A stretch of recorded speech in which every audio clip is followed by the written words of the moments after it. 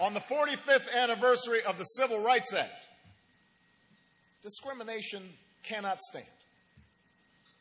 Not on account of color or gender, how you worship, or who you love.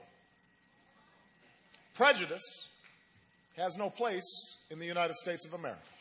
That's what the NAACP stands for. That's what the NAACP will continue to fight for as long as it takes.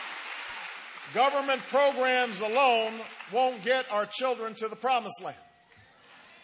We need a new mindset, a new set of attitudes, because one of the most durable and destructive legacies of discrimination is the way we've internalized a sense of limitation.